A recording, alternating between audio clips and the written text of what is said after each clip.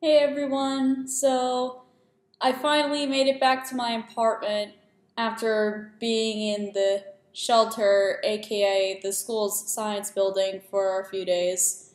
So, yeah, if you haven't really guessed by now, or if you did not see my um, social media stuff, um, yes, I do live in Florida, or go. I'm going to school in Florida, so Hurricane Irma did strike where we were, but my school is located in the Orlando area, so we did not get hit too terribly, but actually, um, in my bedroom, which is over there, and that's where I've been filming for a couple videos, but I decided to move them out here because the lighting in that room is really bad. And I know I could like shut the blinds from that window, but um, my um, roommate put her cat's hanging bed on that window because it was the only window that gets really any sunlight or a really stable window. So she decided to put that there, and I can't really pull the blinds down because it's like the wires um, go in front of the blinds. And if I try to pull it down, it would look weird. Also, it would cover the bed, which the cat Sybil that you saw in one of my videos um, does not like. So we decide to keep that window open, or the blinds open anyway. And and since um, the lighting from that window also makes the camera look dark and horrible, I decided to take it out here because I can move the blinds that lead to the other balcony back as far as I want. And plus, I have lights from the kitchen over there, and then the light that's hanging above this table. This is actually the dining room table. So, um, my roommates don't really um, hang out here that often because they do go to class in the afternoons and such, and the only time they do is like very late at night, which I don't really film at that time anyway because I'm so tired I don't want to do anything. So, yeah, either I'm going to be filming here or I'm going to be filming in my apartment's common room, which is downstairs. But people don't usually go in there unless there's a um, apartment staff meeting, which those um, don't take long and they don't really occur like in the late afternoons. So um, that's all for like video stuff, but now um, to the hurricane story. So I posted um, two um, music themed videos on Saturday because I thought, hey, I might as well get some content out as much as I can, but then like I didn't have anything else prepared, so by Sunday afternoon, which actually Sunday morning, we were supposed to go into the science center because this building is the newest building on campus, so it has two generators, and of course, it's big enough to withstand high winds. Which, yeah, Hurricane Irma was pretty bad, and um, it did um, knock down a lot of tree branches, and there was been a lots of debris around, um, not just the campus, but in the whole town. Even like power lines got knocked down, so the town was in like like it had a like or even the whole Orange County had a very strict curfew to follow because um the storm did hit us that bad. I mean, not as bad as actually it was worse than Hurricane Matthew last year. And for Hurricane Matthew, I stayed at my grandmother's house because my grandma thought it's not going to be that bad, so she can come I or I can come stay there. This time because Hurricane Irma was worse, um, they suggested me to stay on campus because at least they know what to do. I could at least still park my car in the parking garage so it doesn't get flooded. And um, and that my aunts thought that I was not capable of driving all the way up north if they had to, and considering like probably how bad traffic would be, I probably would not have been capable to drive up there in the first place.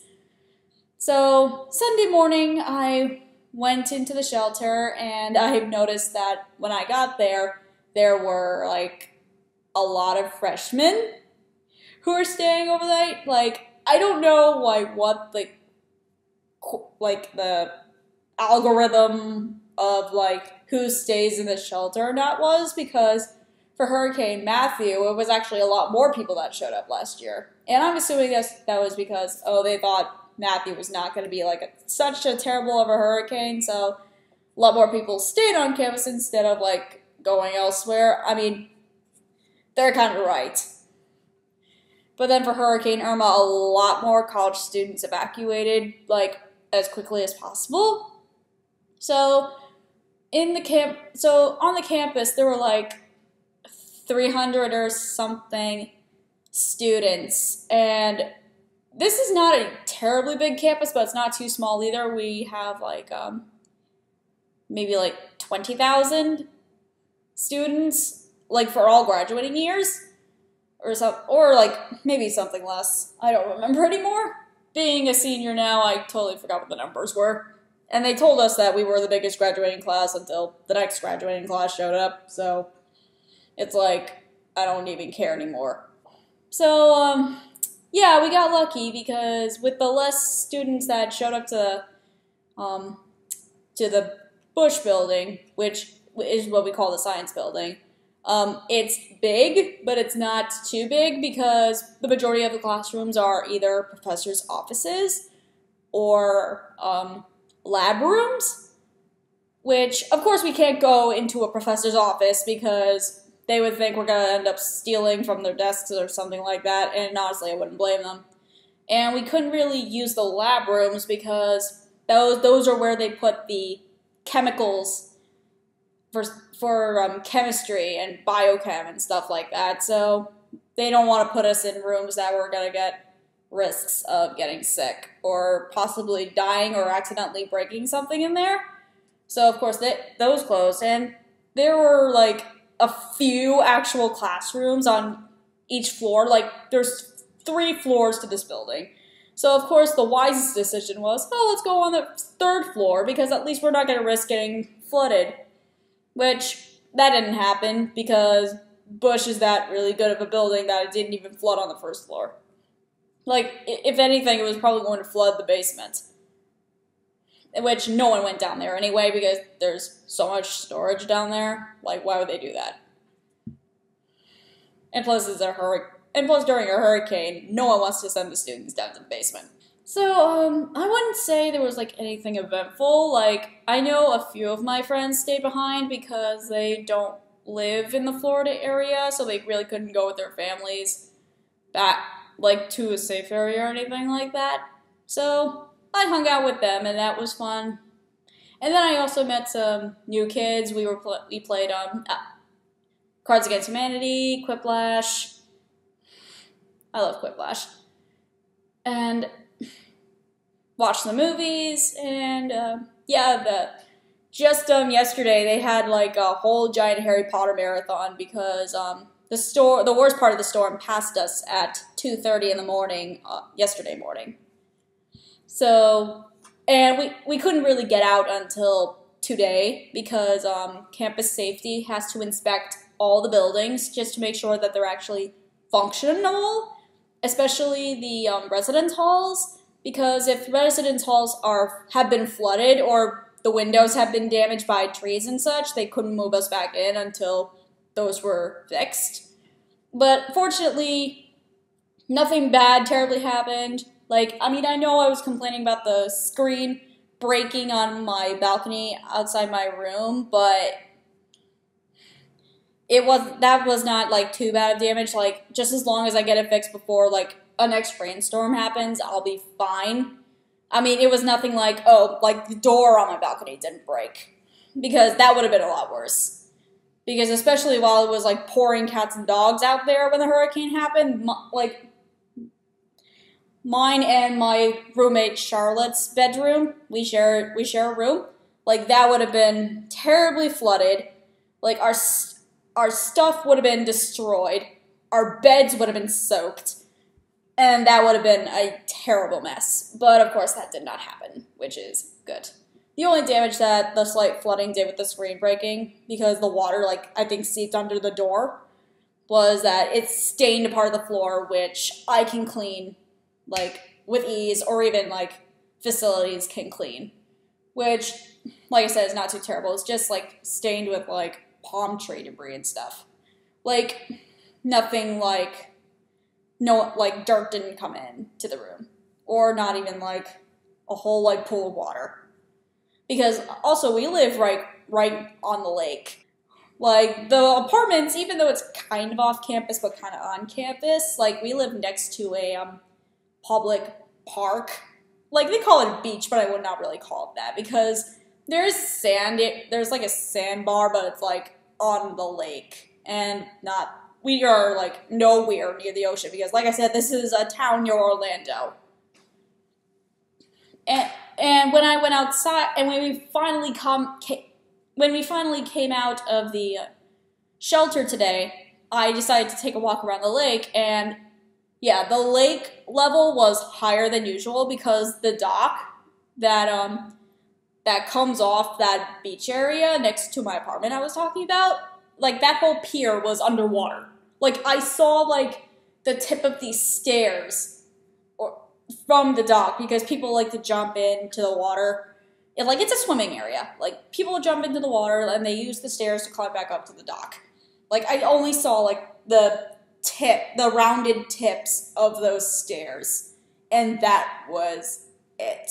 I was, and I was like, it's probably gonna go away after a couple days because usually when the water rises after a terrible storm, it goes down to normal level after a certain period of time when it stops raining, which is a good, which is a really good thing.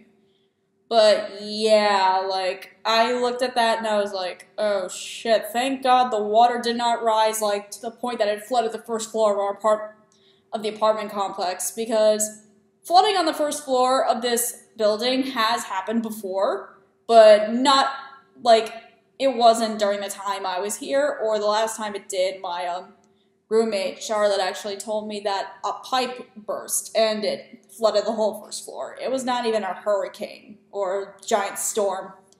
It was a pipe burst, which I don't know how that's possible to get because oh yeah, she told me like because the um, Sutton Apartments was not on like the school system plumbing, it was on the public town plumbing because um, Sutton Apartments actually used to be um, a nursing home or an old folks home before my school bought the property after the old folks home ran out of business. And um, so yeah, it does kind of look um, damp and old fashioned in here, that's why. But honestly, I like it in here. It's not like it did when I walked in. It didn't like come to me like this was an old folks home until someone told me. Like, who cares? But um,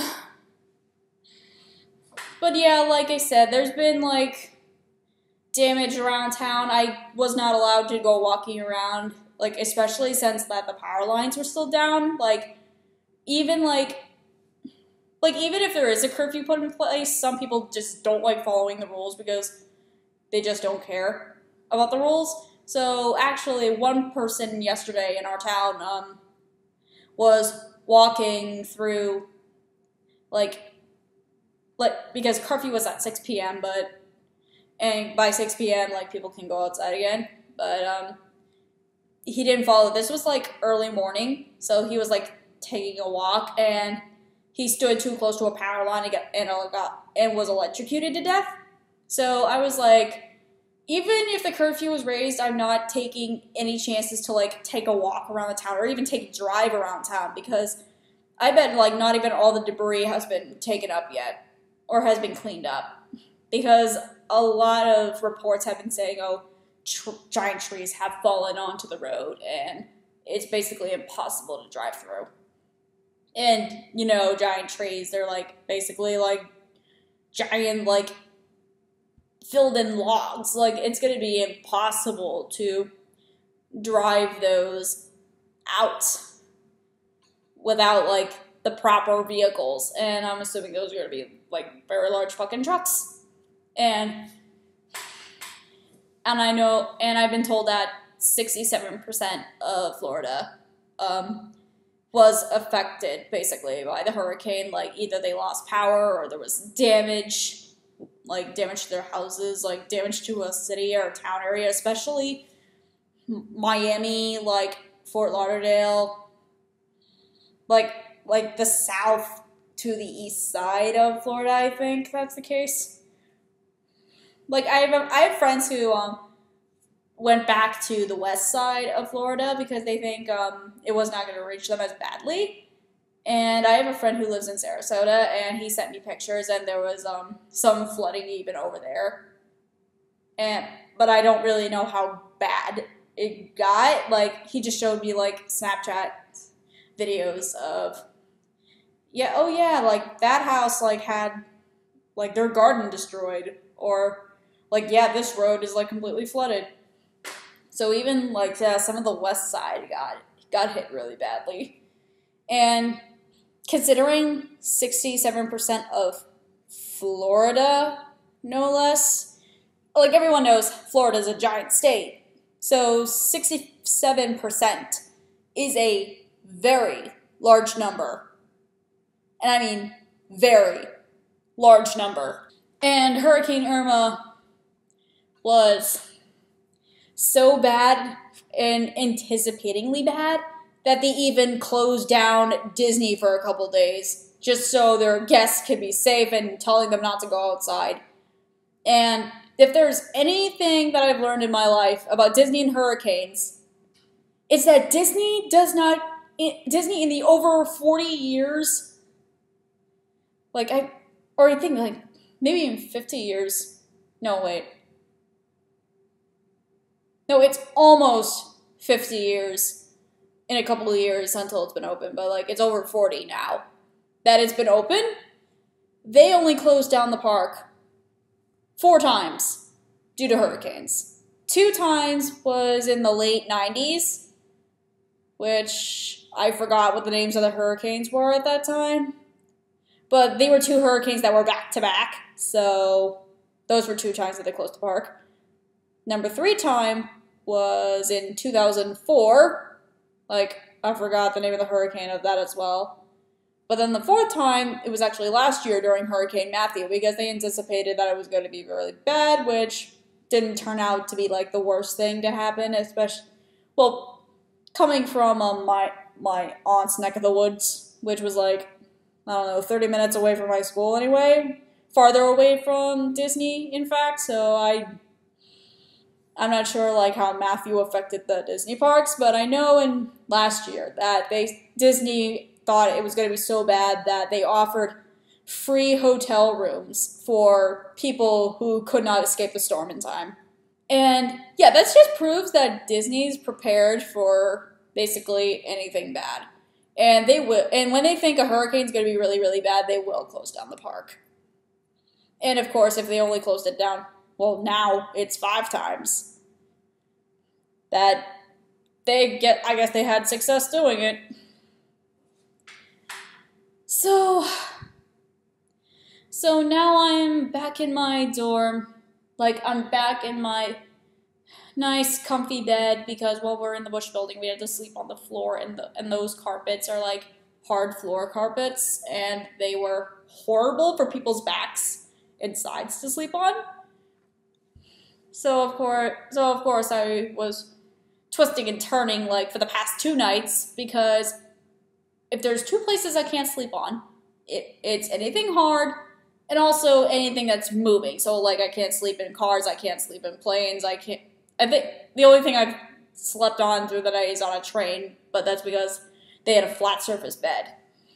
But so yeah, like these past two nights have been like completely awful. And if it sounds like I'm really, really tired right now, it's because I am.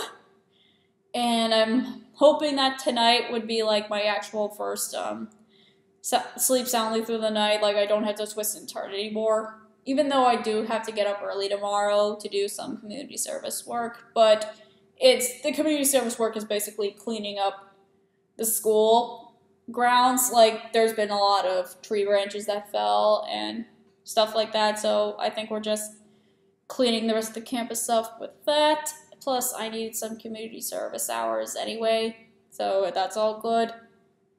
And um, hopefully, oh yeah, one more thing. Because of, um, according to campus safety, some of the academic buildings um, lost power also due to the hurricane, and they don't know um, exactly like when those are going to come back, or they don't know when the um, public roads are going to open again. Classes have been canceled until next week, so hoping, hopefully, I am going to use this opportunity to make more videos and I will try not to be lazy and take advantage of this um, school closing opportunity to do my lazy roundabouting that I sometimes do. God, I am so fucking tired. It's unbelievable right now. Even uh, even when I finally took a shower, after two days of not taking a shower, which by the way feels great. Um, usually I wake up after a shower, but now like I'm feeling a lot more drowsy, and I think it's because I have not gotten proper sleep in two days. So again, I will do my best to get back on video schedule now that this whole hurricane mess mess has um, calmed down and um, and I, now I have more time to like focus on writing things for video prep and whatnot. So um, that's basically my Hurricane Irma story and all that. And I'm not expecting any likes or anything like that. But if you guys um do care to um, tell your own Hurricane Irma story or any hurricane story in the comments below, like I'd be open to letting you post like whatever you want. I probably need some entertainment also in my life. Especially how fucking tired I am. And um and like I said, I will um, get back to making videos on the best schedule as I can. Hopefully that when class starts up again, I'm not getting a shit ton of homework because the, our syllabuses now for every class I'm taking got fucked up. So you guys um, take care of yourselves because I know um, parts of Florida do not have their power back yet because it's been two days like one or two days since the storm. I know a lot of people lost their power. So, to, when you can, or just please take care of yourselves. Um, like, be careful when you're going outside. If they're saying it's dangerous and the power lines are still down, don't take the risk in walking in, near those areas because you don't because the power lines being knocked down are t- no joke at all because you could just walk like a few feet away from them and you'd be electrocuted. Especially when those power poles are near like or or on very wet roads still. Like don't take that risk. Also like like if and I know like Hurricane Jose is like around the corner as well. They think it's coming um this week or next week. So you guys be careful. Like my school is gonna get updates on if Hurricane Jose is going to be um, worse or just as bad as Irma is. Honestly, I hope not because I really want to go back to school and I don't want our school to get rid of Thanksgiving and Christmas break or at least parts of Christmas break, or else that would be misery.